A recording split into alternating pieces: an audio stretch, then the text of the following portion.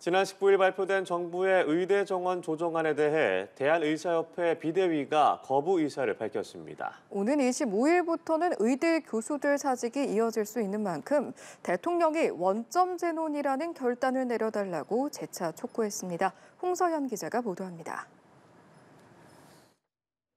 정부가 2,000명 증원에서 한 발 물러섰지만 의사단체 반응은 크게 달라진 게 없습니다. 대한의사협회 비대위는 정부가 나름 고심한 결과라고 평가한다면서도 의대 정원 조정은 해결책이 될 수 없다고 비판했습니다. 근본적인 해결 방법이 아니기에 대한의사협회 비대위는 받아들일 수 없음을 명확히 합니다.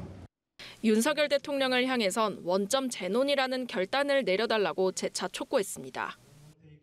국민의 건강을 책임지고 있는 최고 책임자로서 대승적 차원에서 원점 재논이라는 결단을 내려주시기 부탁드립니다.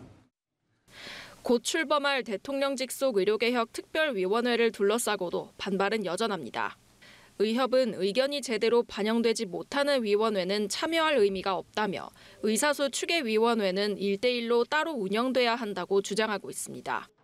의정 갈등이 좀처럼 접점을 잡지 못하는 가운데 오는 25일부턴 한 달 전 의대 교수들이 낸 사직서의 효력이 발생할 수 있습니다. 전국 의대교수 비대위는 원점 재검토를 해야 한다는 주장은 변함없다며 정부의 적절한 조치가 없을 경우 예정대로 25일부터 사직을 진행할 것이라고 경고했습니다.